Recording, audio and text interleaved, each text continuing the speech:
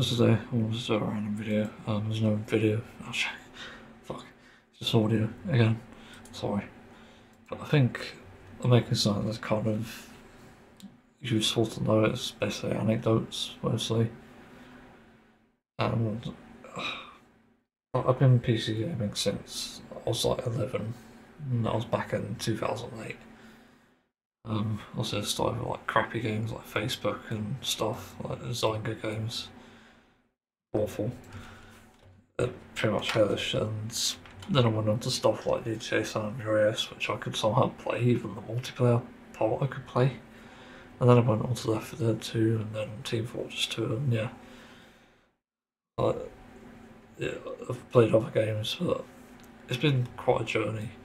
And this wasn't even on a gaming computer. This was like an i2 core processor and it was had this add-on graphics card before we even had PCIe powered ones. As far as I know. It's been a fucking crazy journey, especially in like te technical, yeah, technological evolutions. And this was before, as far as I know, before we actually had proper smartphones. I remember it was like a big talk sort of thing in school to talk about a smartphone. And also in like science classes, like we had just say that eventually they'll become waterproof and they have. It's fucking bizarre.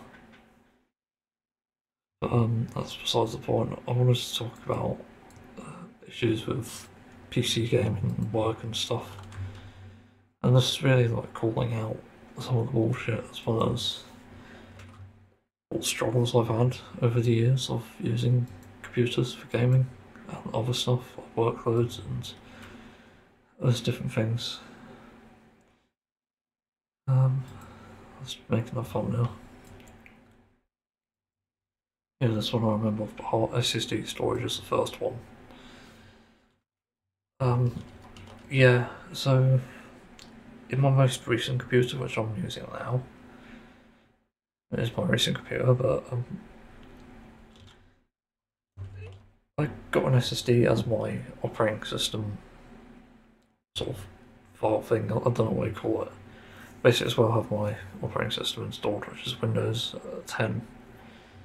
And whilst it did create a massive improvement in terms of performance for like um, opening some stuff and even launching Windows itself, there's still like problems with it compared to like a hard drive which I was using before. And it, I've noticed it seems to deteriorate over time as I've got Windows updates. I've had this computer for years now, and every time it restarts or shuts down or updates or whatever, it still takes ages. Which it shouldn't, because my PC, I'll say the specs now, so Ryzen 5800X, 32 gigabytes of RAM, 4x configuration, 3600 megahertz, um, and Asus B550 motherboard, and finally an RTX 3070. And the SSD is a Samsung Evo 970, I think. Yeah, I think so. I think it's 970 was my graphics card as well.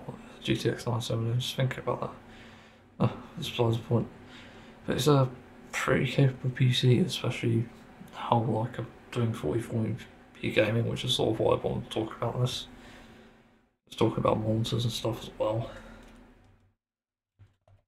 Um, but the SSD I've noticed has sort of degraded in performance, and I don't know why this is. It just seems to have, and it doesn't really say why. But there isn't even much on the SSD itself, so I don't know why it's struggling exactly. But that's just something to sort of be aware of. Um, this brings up the next thing actually. Video driver updates. These are fucking annoying. So, sometimes they work and other times they don't.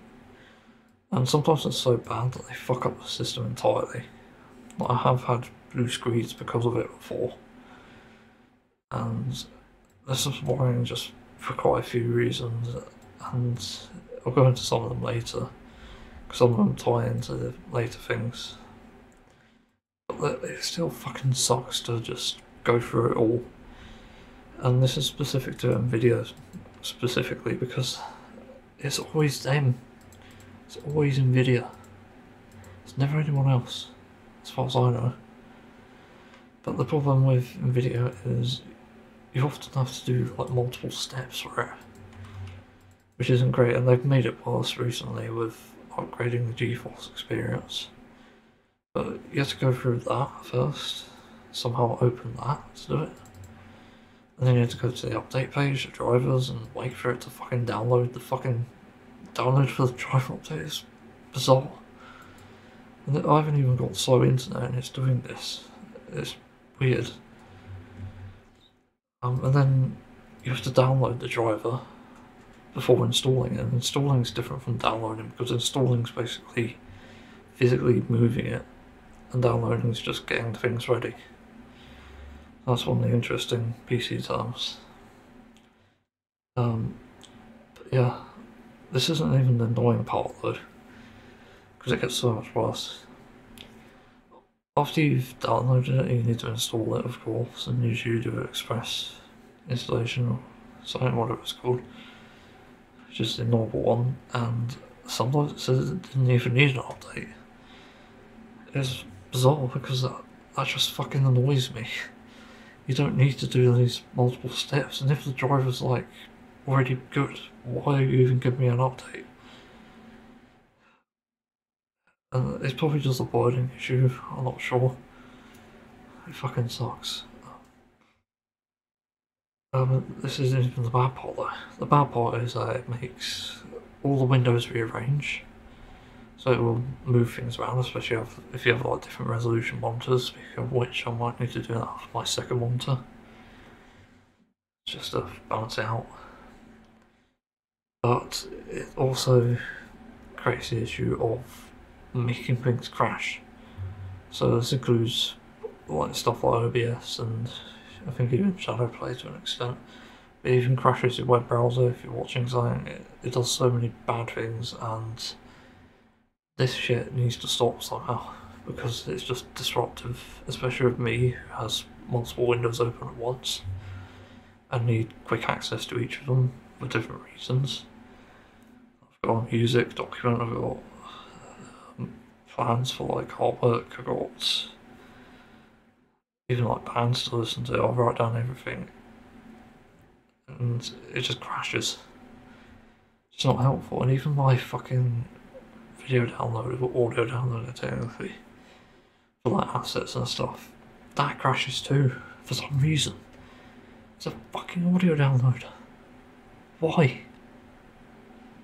But you know, as if this wasn't bad enough. Speaking of like Nvidia, they have this thing called Shadowplay, which is like instant replay, and it used to work quite well for a while, but it sometimes crashed and I just made it shit. Eventually, when I was doing shadow shadow play replays or whatever, they would start recording but not record anything. I mean, they would save a replay but not have anything there, no audio, no video. Sometimes even be corrupted, even though nothing's interfered with it. So I just gave up. I stopped using it and I started using OBS and I never regret that even though OBS has its own issues, like um, needing to turn off instant replay if you record and stuff, it's still far more reliable. And even though it crashes with video drivers when you update them, it's still reliable. And that's the thing about it. It still has a base to go for, it's good, and you can even record separate audio now. Which is something you couldn't do on. Actually, I think you could do on Shadow, but I'm not sure actually. But you used to be able to record like, individual audio. You can record it. And that's crazy, and you can adjust every single volume to your liking. It's just so good. Anyway, that's a video driver shit. Video. Video sucks. I think I'm probably going AMD next year. Next year, I mean, next computer upgrade whatever. Still not 670, I'm waiting to that dies. but the next thing is 1440p experience, and this is a recent one. I did research on this because I'm a gamer and I like good graphics in games or good art styles as well. But I hate seeing pixels. Like pixelated stuff just bothers me. And to be honest, 1440p is not great. I was expecting a lot better and it just didn't blow my mind like I thought it would. And an interesting thing about this, um, I was thinking about this the other day. When you talk about like 4K, that's not 2 times 1080p. It's actually 1080p times 4 because you can fit four 1080p screens into that. So it's just something interesting to think about there. But like bigger doesn't always mean better. Like 1080p to 1440p is like it's like a times 1.3 or something, I don't know. Well, it's not even two times or anything accurate like that. Basically adding 360 pixels onto the width, no, not width, the height. And that's nothing really, to be honest, like the extra 100 just doesn't work, even like for width as well, which is technically bigger, it's like 600 extra pixels and that's not good enough. You can still sort of see them depending on the size, and I've got the smallest one you can get, and it's still visible, which is crazy because I don't have good eyesight. I'm not even like a close range person, and I can still see them. Um, yeah, the other thing that's terrible this is the cables. Oh my god. The cables are fucking abysmal. Um, this is actually going into my next issue. I don't know why I mixed that. Also, the high frame rates are good, but with the HDMI, you can only achieve 144 on 1440p. Or 2K as it's called, apparently. Not sure why though. But the next thing is actually about DisplayPort, because this is the only way to play it high quality, but I have multi monitors, so it doesn't work. Because it keeps rearranging your windows. DisplayPort wouldn't be bad if it didn't keep fucking rearranging your windows. And the only fix for this is another fucking piece of software. Which is a common occurrence with all this shit. I downloaded persistent Windows, but that's even had its issues and doesn't even always work. Like sometimes it rearranges it back to something you didn't want it to be. And so it's unreliable, and I just ended up switching to HDMI. That seemed to fix it. Seriously fucking sucks. Um, I only lose like 26 hertz from going to HDR, and that's fine. You still get HDR, depending on the cable though, that's the important thing, because not all HDMI cables support it. Um, on the topic of monitors though, the HDR is certainly meh. I'm quite sensitive to colours, I noticed it, but I don't think most other people will. Just noticed there's a higher range of colours, like especially greens and stuff. It's just kind of crazy, it makes things look more vibrant and true to life. But if you don't notice, it's not a big deal and it doesn't do anything to your brightness and stuff. And if you're used to using like digital vibrance like I have, or game filter, which adds vibrance, you don't need to worry about HDR. Trust me, it's not worth the extra money. It's just a marketing gimmick at this point. Um, I certainly prefer HDR myself. Um, what I think about monitors is a physical issue, depending on the design. I have a Gigabyte, I think it's M27Q or something. Can't remember the model. Why isn't it written down anywhere on it? That's fucking stupid as well. Another issue. Like my Asus one, I think it's labels. No, apparently not. With these companies, like people want to know what their monitors are called. I don't care if that's HDMI. But the problem with this is it uses a strange system for on and off. I turn my monitors off just to preserve lifespan, and it's worked for years. I've had one more monitors for over four years now, I think it's still fine. Uh, turning them off I think is generally a better idea than leaving them on. The problem is, with the Gigabyte one here, it's bad because you can't turn it off properly. Uh, for some reason you have to hold it down for 5 seconds, the quote unquote power button, but it isn't a button, it's a joystick that controls the settings. So if you even move slightly, because it's sensitive as fuck, it will open the settings instead of turn off the monitor. It's just, why? It's so stupid. You can't disable as far as I know. It's really bad. And this is generally unbelievable because I haven't found a fix for it and at this point I want to change monitors because that's such a big thing as well. It doesn't alter turn off as far as I know either. It's just baffling how you can even overlook something like this. And this is the first and only monitor I've used of like eight that I've owned that have had this thing, this dongle for a fucking power button. It's so janky. So the next issues I'm going into are more sort of outside the boundary of gaming. Um, sort of hardware as well. So I'm a musician and I've tried to use an audio interface and they don't work properly. I've tried two and I can't remember what the other one was, but I remember I got this like Steinberg something, and it was like a mini audio interface, and it looks great and it sort of worked great as well. But it had one major issue or two actually. It wouldn't work with ASIO4ALL, which was necessary for it, because ASIO4ALL never works on my computer for some reason, and nobody would tell me why it's like some hidden secret to fucking enable it. But it also just had latency when I was able to hook up for a different audio thing. Um, was it sound drive? I can't remember. But it has this massive latency issue and it makes it impossible to record an actual guitar. And even then, I do have latency issues on just a Rocksmith cable here and I can't record guitar. Like it's not specific to FL Studio, I think, but it's just crazy, and it's meant I couldn't do any like proper covers and stuff. Meaning everything I've done is VST metal and stuff, like things like that.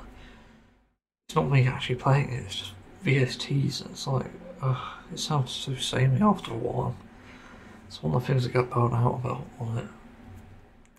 But long story short, audio interfaces don't work, and also one thing that nobody tells you about them is they require you to upgrade to 24-bit like audio systems, whatever it is. And this causes so many problems for games and stuff because it just doesn't work. It's not compatible. I think it even had issues with like Team Fortress 2, if I remember correctly. Uh, it's not worth it. Um, next thing is a hardware issue wireless and stuff. I've used a lot of Bluetooth devices and I'm mainly using them for phones now because they actually work on phone. PC on the other hand, no. So my motherboard has no native Bluetooth, so it needs an adapter, and all the adapters fucking suck. I've had three of them in total, I think, and I'm convinced it's not suitable for any sort of Bluetooth device own it's not worth it, even if it's like the most reliable product, supposedly. Adapter or device, whatever. It's not worth it. Because it just doesn't work. And the thing that makes it worse is it seems to make my computer crash and burn. no, not burn. That makes um, the dongle crash, and this means that I have to reset the device or unplug it and plug it back in or uninstall it then plug it back in, I'll plug them back in again. it's fucking stupid. I, I just don't get it because you could make this work, you could fix it, and this is a Microsoft problem, I think. But they don't, and so I can't use Bluetooth devices. I used the keyboard for a while and it was great, it worked for like a week, and I was like, ah, this is fine. I quite like this keyboard. It's great that I can move it around wherever I want. There's no wires in the way, because that's a big thing really, but get to a point where wake my PC up from sleep and suddenly it's not working. Great, that's fucking useless then. Oh, it's dead to me. So I have to plug back in a normal keyboard and yeah. I returned that fucking keyboard because that and it turns out it's a Bluetooth issue with PC or something. I just don't get it though, because I want a wireless device, I want a wireless mouse especially. But it, you just can't get it to work because for some reason it just doesn't work on Windows 10. It's so stupid, I, don't understand it at all, and you'll see this a lot more. So yeah, wireless is just not suitable at the moment. And I obviously can't recommend it myself. Uh, keyboards. This is number one. They are annoying. Since every keyboard manufacturer seems to want to, or seems to think that gamers want, is noisier keyboards and flashier ones for that matter. But uh, my case is unique in that I want something that isn't noisy and is flat, like a laptop keyboard, which I think both coincide with each other. And since there's a possibility of like holographic keyboards in the long future, that mainly like light pressing and stuff, it's good to get that practice. But um, yeah, and also some keyboards with RGB just sometimes rub out. I've known a lot of keyboards do this, but the more sort of premium ones don't. I had a Razer keyboard that didn't, and so I have my Corsair Strafe at the moment, which hasn't just crazy. you could see the oils on that bot button just covering it, the buttons even. It's not scratched one bit. It's just crazy. It seems rare to me for that to happen. Um, but yeah, keyboards have a long way to go as well. And noisier isn't better, in my opinion, especially if you're using a mic. It's worse, and this is the only keyboard that's not as noisy as others. I'm pressing it as hard as I can. And lighter, lighter, like this. Brush feather. That's pretty good. That's the only good keyboard I've found, and it's not even a flat one, unfortunately. Um, next thing, it's actually a software thing, multitasking. I don't know about anybody else, but I multitask a lot, and I've done it ever since I've had my GTX 970 and i5 quad-core system. But even now, with my current system, it still has problems. As I say I'm gaming or say I'm doing a live service game, which usually suck. Depends on the grind and if you enjoy the game, but if you're doing those sort of things, it's just grindy and boring, you want something on the side, like a video. And I've done that for years, and the problem is, it makes the game either lag or have latency issues.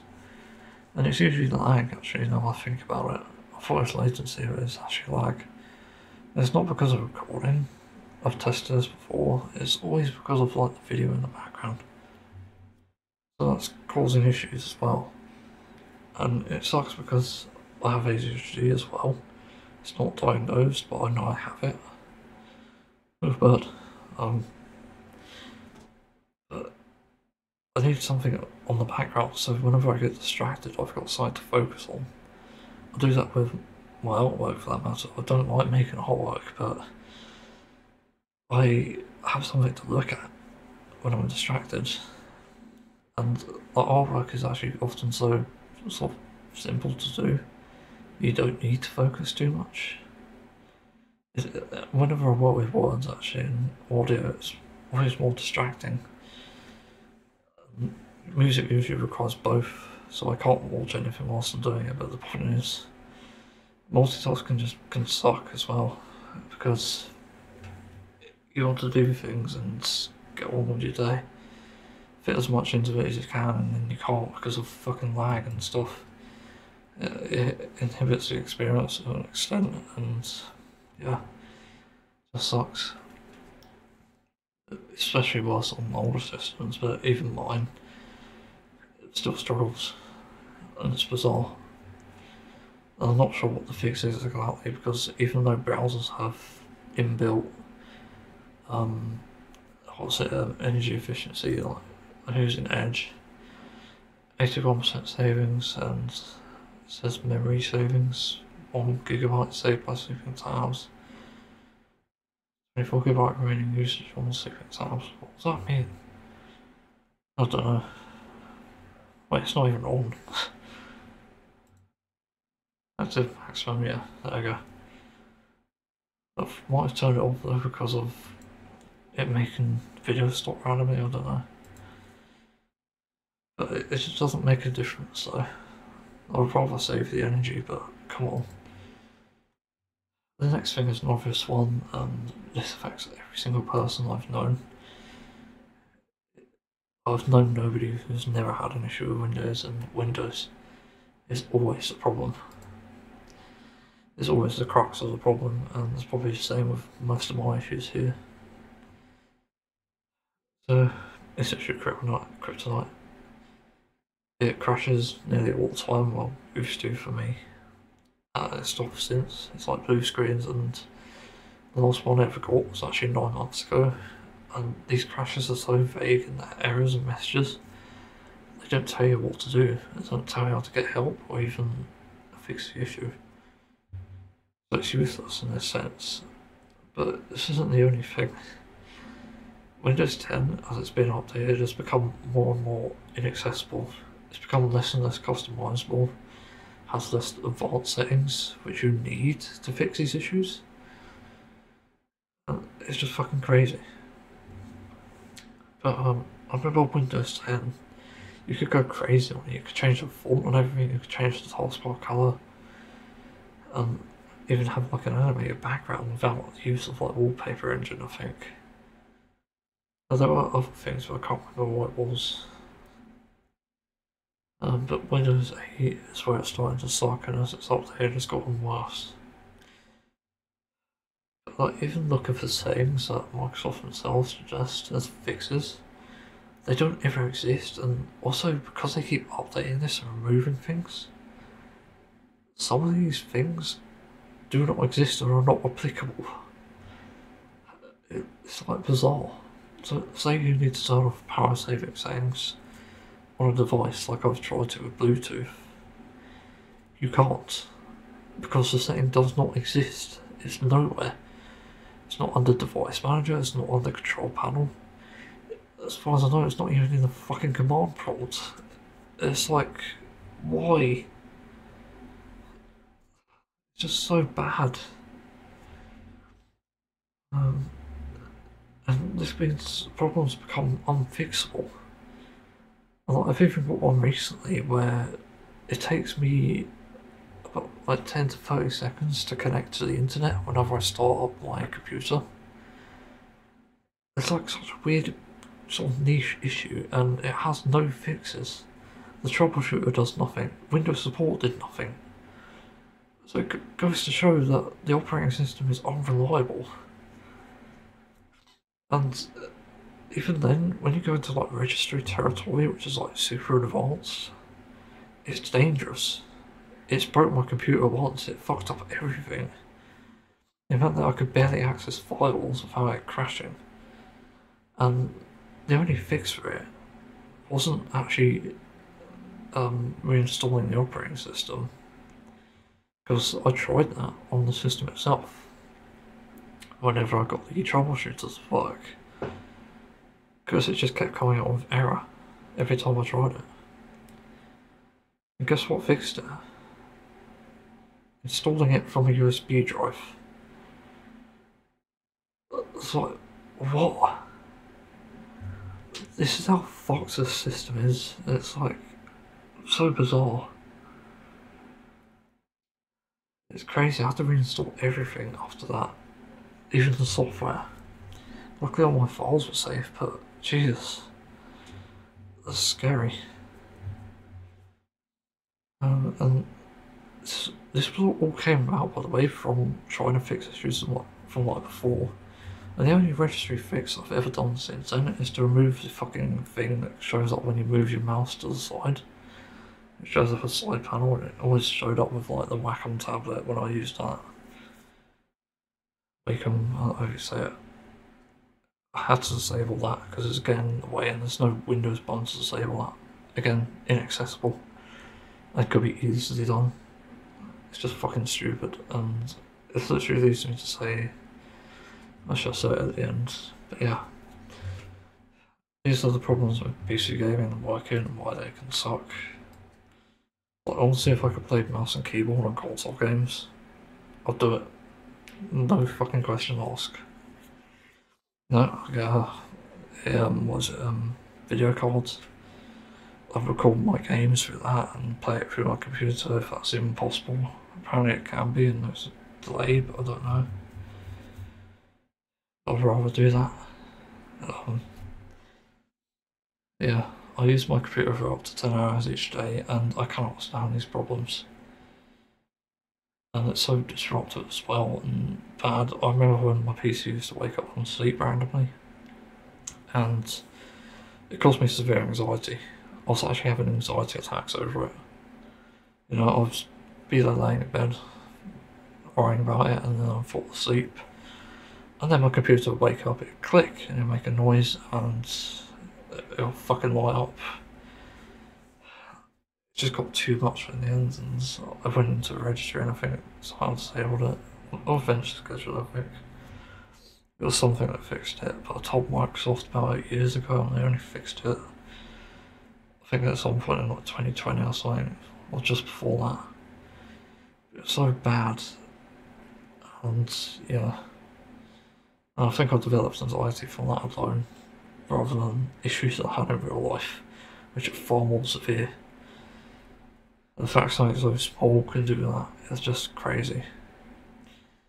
So yeah, um, my message to Microsoft, good job idiots, stop making operating systems, please.